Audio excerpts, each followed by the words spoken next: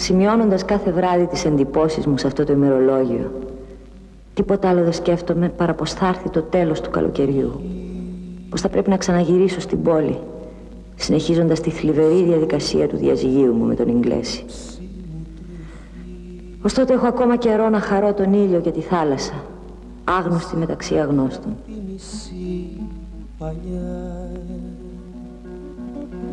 Όπως και τώρα με κάποια πορά έφυγε εκείνη χωρίς να φέξει ούτε να στερεί.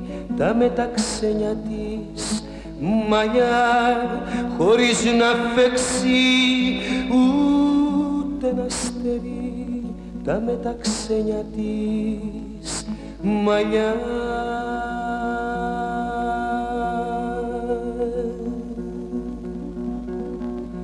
κάποιου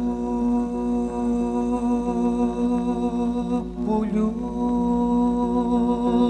και λαϊδίμα με ξύπνησε. Στην αγκαλιά μου εκείνη κοιμόταν βαθιά. Σε έναν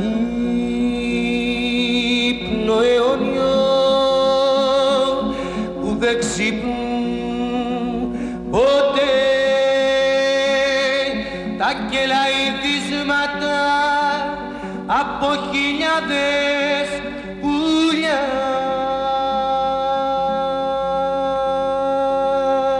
τα κελαϊδίσματα